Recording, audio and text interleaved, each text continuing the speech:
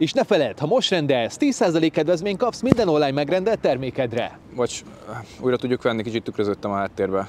Jaj, de hogy ez TikTokra megy. Miért és ott nem baj, hogy a szarminőségű? Ugyan már, ez TikTok.